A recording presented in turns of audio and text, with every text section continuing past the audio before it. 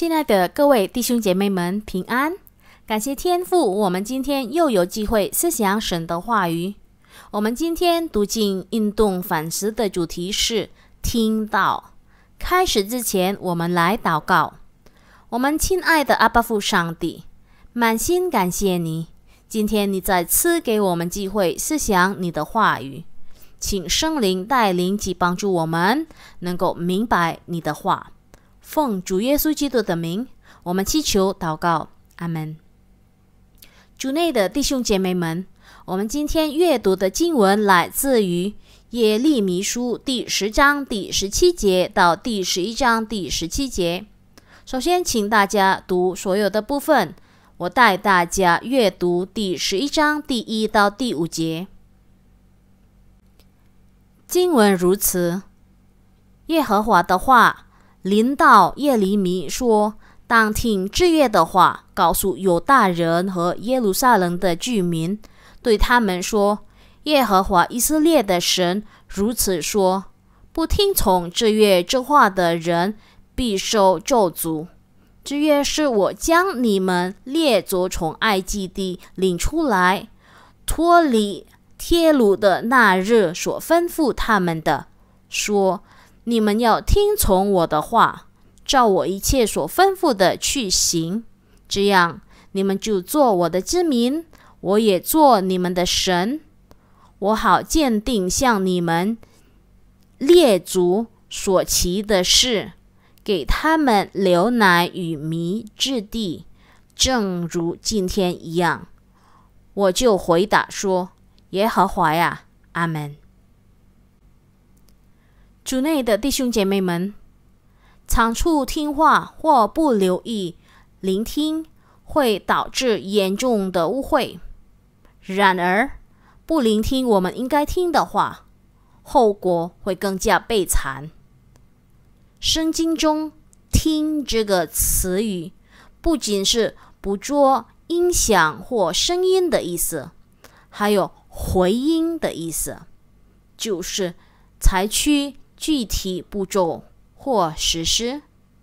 以色列人是一个通过声乐或盟乐与上帝结盟的民族。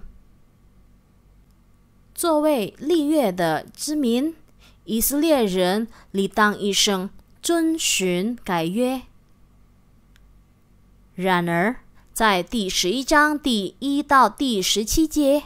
十七节这段经文中，以色列人却违背了声乐，或在反叛上帝的生活中，他们拒绝聆听、顺服或遵循上帝的话。他们所做的伤了上帝的心，使上帝发怒。由于他们顽梗的心。上帝会降下惩罚，也拒绝垂听他们的祷告。主内的弟兄姐妹们，上帝的子民必须听从他的话，这是作为上帝子民最基本的标准。上帝通过他的话显明了他自己和他的旨意。上帝希望他的子民。或在信考顺服中，这样他们就可以做上帝的子民，而他也要做他们的上帝。上帝要人听从他的话。如果您真的想听从他的话，您必须每天抽出时间，认真阅读和学习经文。托马斯·肯皮斯生活在一三七九年至一四七一年，曾写道：“聆听的耳朵确实是有福的，不是聆听外在的声音，而是聆听内在教导的真理。对外在有事物关闭而专注于内在事物的眼睛。”是有福的。那些渴望将自己的时间献给上帝，并与世界隔绝的人是有福的。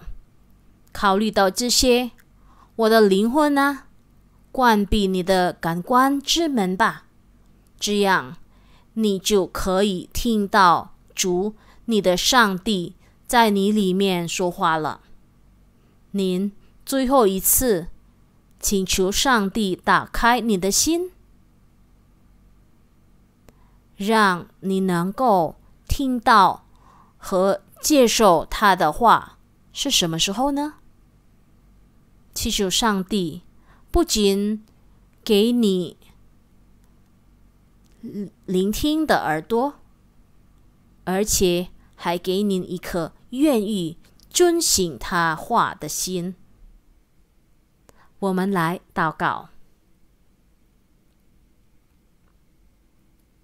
我们在天上的父，我们是个软弱的人，在生活中，我们也许平时不信靠顺服你的话，反而根据我们本肉的愿望。主啊，我们今天学了怎么能当你的好儿女，那就是听从你的话语，恳求你。我们每天能够听从神的话，并且遵行你的旨意，在我们的生活中，愿圣灵帮助我们，从今天起开始要靠顺服你。奉主耶稣基督的名，我们祈求祷告，阿门。弟兄姐妹们。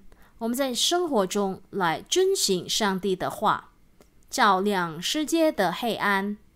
上帝祝福你们，再见。